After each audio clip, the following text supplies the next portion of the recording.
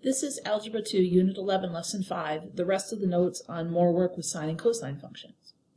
Okay, so where we left off on the last dead puzzle is um, we found that the sine and cosine are the same for an angle and its reference angle. So we can use that to find sine and cosine values for any angles if they are known for their references. Okay, so we did cosine of 150 and sine of 150. We figured out the cosine of 150 is negative square root of 3 over 2 and the sine of 150 is 1 half. And that was based on using the reference angle of 30 degrees in the quadrant that it falls and where sine and cosine falls. Now remember, the quick way of remembering sine and cosine where it's positive and negative, A stands for all positive, S is for sine is positive, everything else is negative. Uh, T is tangent, that's uh, in the third quadrant, so both sine and cosine are negative. And C cosine is positive in the fourth quadrant. All right, so we left off on cosine of 210. Well, think about where 210 is. If we go around, um, 210 degrees would fall in the third quadrant with a reference angle of 30 degrees. Okay, so if we go all the way around and the reference angle from the x-axis is 30 degrees, so that means we are in the third quadrant. So in the third quadrant, reference angle 30 degrees is cosine positive or negative. Well, it would be negative. So that means that it's going to be negative square root of 3 over 2. And if you think about it, it makes sense because if you are in the third quadrant, both your x and y coordinate are going to be negative. So if your x and y coordinate are both negative, that means that cosine is the x value, the x value will be negative. So cosine of 30 would be negative square root of 3 over 2. Okay, how about the sine of 210? Same idea. It'd be the same angle, reference angle 30 degrees, and sine is also negative in the third quadrant. So this one is actually going to be negative 1 half. All right, cosine of 330. Where does 330 fall? Well, if I do 330, a reference angle, it comes out in the fourth quadrant like this. That means the reference angle is going to be 30 degrees. Okay, now in the fourth quadrant, is a cosine positive or negative? Well, if we look right here, fourth quadrant, cosine is going to be positive. So using the 30 degree angle, this is going to be the square root of 3 over 2. And the last one, the sine of 330. Okay, again, reference angle of 30 degrees, so we can use that. Um, we know it's going to be square root of, oh, excuse me, excuse me, going to be 1 half. But is it positive 1 half or negative 1 half? Well, again, in the fourth quadrant, Cosine is positive, that means sine is going to be negative. So this is going to be negative 1 half. And again, if you're not sure, remember sine is the y coordinate. Is the y coordinate positive or negative in the fourth quadrant? The y coordinate would be negative. So it comes out to be negative 1 half.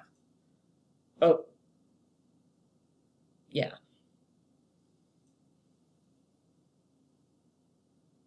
Okay, so we should not forget that trig functions are valid for radians as well as for degrees.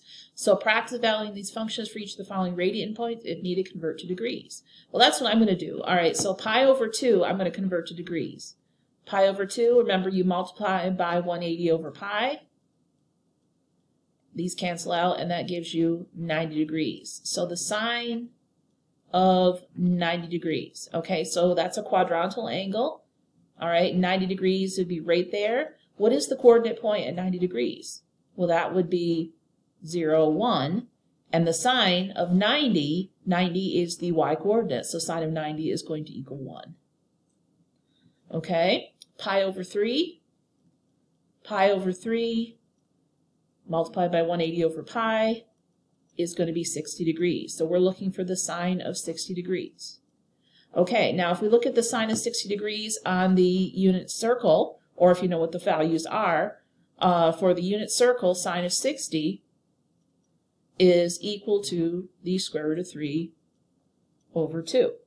So if you're not sure, you can look it up on the unit circle to work that out. Um, or if you can just memorize those first uh, couple of them, you'd be fine.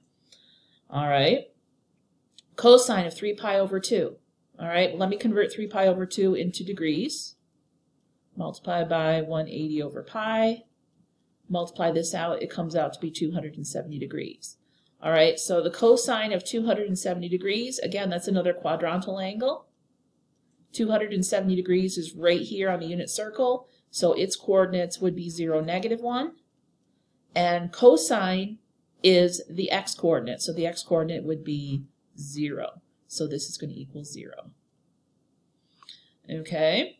And then cosine of 3 pi over 4.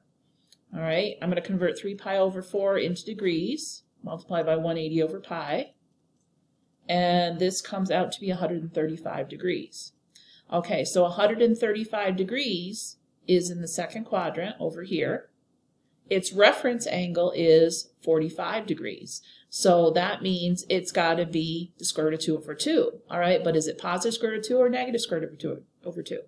Well, it would be in the second quadrant, remember A, S, T, C, sine is positive, so that means cosine is going to be negative. So using my reference angle of 45 degrees, this would actually have to be negative square root of 2 over 2. So if you can memorize 30, 45, 60, the values in each of the, in the first quadrant, you can just figure out where the sine is, uh, excuse me, the sign of the, of the quadrant is for each one using ASTC if you just know those values. And it's really quick once you figure them out. Or you can just look at the unit circle diagram, of course.